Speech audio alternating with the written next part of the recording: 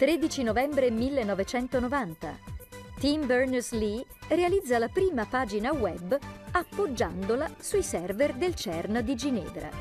Il giovane fisico inglese studiava da oltre un anno un modo per creare un'infrastruttura informatica che consentisse di condividere informazioni sparse per il mondo.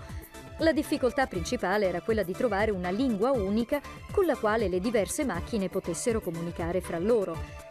Gli ingredienti tecnologici, come il protocollo di trasferimento HTTP, messo a punto da Vinton Cerf e Bob Kahn, esisteva già ma è il loro assemblaggio a costituire una svolta epocale.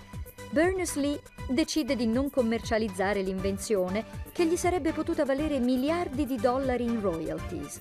E su questa duplice premessa di gratuità d'uso e di partecipazione di chiunque volesse alla costruzione dei siti, la rete crescerà esponenzialmente in pochi anni.